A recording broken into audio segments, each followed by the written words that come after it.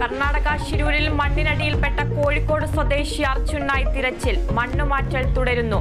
അർജുന്റെ ലോറി പുഴയിലില്ലെന്ന് നാവികസേന. രക്ഷാപ്രവർത്തനം ദുഷ്കരമെന്ന് Karwar S P Kerala vision ന്യൂസിനോട്. അടിയന്തര ഇടപെടലിന് നിർദ്ദേശം നൽകി മുഖ്യമന്ത്രി.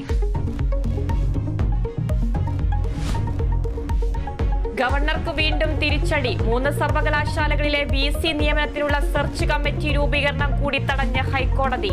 കേരള എം ജി മലയാളം സർവകലാശാലകളിലെ നടപടികൾക്ക് സ്റ്റേ ചാൻസലറുടെ ഉത്തരവിന് ഹൈക്കോടതിയുടെ വിലക്ക് ഒരു മാസത്തേക്ക്.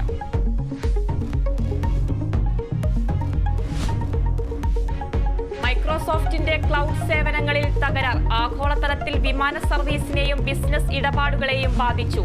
വാർത്താ വിതരണ ശൃംഖലകളും ബാങ്കിംഗ് സേവനങ്ങളും തടസ്സപ്പെട്ടു. പരിഹരിക്കാൻ ശ്രമം തുടരുന്നുവെന്ന് മൈക്രോസോഫ്റ്റ്.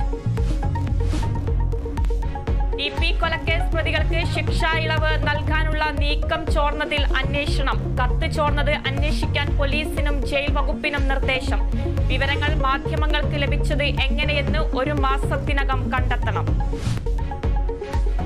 കോഴിക്കോട് ബീച്ച് ആശുപത്രിയിൽ ഫിസിയോതെറാപ്പിക്കെത്തിയ പെൺകുട്ടിയെ പീഡിപ്പിച്ചതായി പരാതി. പ്രതി ഫിസിയോതെറാപ്പിസ്റ്റ് മഹേന്ദ്രനായി തിരച്ചിൽ ഊർജിതം. ആശുപത്രി സൂപ്രണ്ടിനെ ഉപരോധിച്ച യൂത്ത് ലീഗ് നേതാക്കളെ അറസ്റ്റ് ചെയ്ത് പോലീസ്.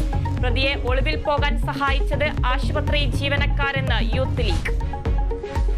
സംസ്ഥാനത്ത് എച്ച് വൺ എൻ വൺ ബാധിച്ച് വീണ്ടും മരണം. കൊച്ചിയിൽ ചികിത്സയിലായിരുന്ന നാലു വയസ്സുകാരൻ മരിച്ചു. തിരുവനന്തപുരത്ത് ഒരാൾക്കു കൂടി കോളറ സ്ഥിരീകരിച്ചു. രോഗബാധ മെഡിക്കൽ കോളേജിലെ കോളറ രോഗികളെ ചികിത്സിച്ച നഴ്സിന്റെ ഭർത്താവ്. വടക്കൻ കേരളത്തിൽ കനത്ത മഴ തുടരുന്നു. വയനാട്ടിലും കോഴിക്കോടും കെടുതികൾ രൂക്ഷം. കണ്ണൂർ പാനൂരിൽ കെ സി ബി ജീപ്പ് വെള്ളക്കെട്ടിൽ മുങ്ങി. മുത്തങ്ങ ദേശീയപാതയിൽ വെള്ളക്കെട്ടിൽ കുടുങ്ങിയവരെ രക്ഷപ്പെടുത്തി.